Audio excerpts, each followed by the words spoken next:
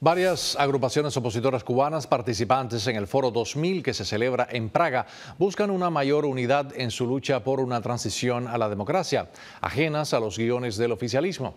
Desde la capital checa, Freddy Valverde con la información. El restablecimiento de las relaciones entre Cuba y Estados Unidos obliga a las fuerzas democráticas de la isla a acelerar su trabajo, explicó en Praga el representante de Arco Progresista Manuel Cuesta Morúa.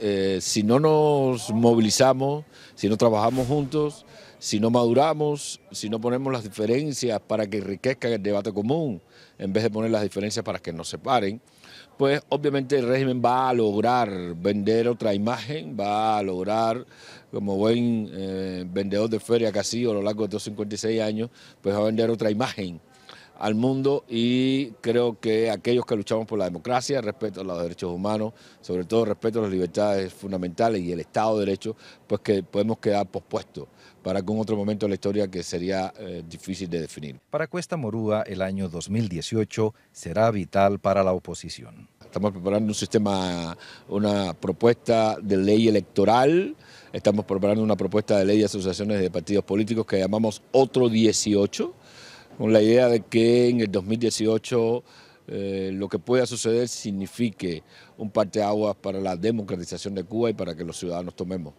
las riendas del poder. Con gran expectativa se espera la próxima visita del Papa Francisco a Cuba. Nadie espera un milagro, subrayó el pastor Mario Leonard.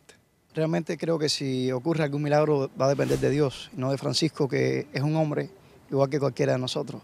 Eh, ya de hecho eh, sí hubo liberación de más de 3.000 presos y creo que eso es muy bueno, pero lamentablemente se aclaró por parte del régimen que ninguno de los presos liberados este, que, haya tenido delitos contra la seguridad del Estado, lo cual es una gran decepción eh, por todos los que hemos estado esperando que sean liberados en este momento, en esta coyuntura. Por lo tanto, ya eso creo que va un poco que disminuyendo nuestra expectativa acerca de un milagro con el Papa. El tiempo demostrará el aporte del acercamiento de Estados Unidos y de la visita del Papa en la vida de los cubanos. Los opositores cubanos que asisten a Foro 2000 sostienen que esta plataforma mundial sirve para explicar de manera clara lo que ocurre en Cuba, más allá de las relaciones entre La Habana y Washington. Desde Praga, Freddy Valverde, Martín Noticias.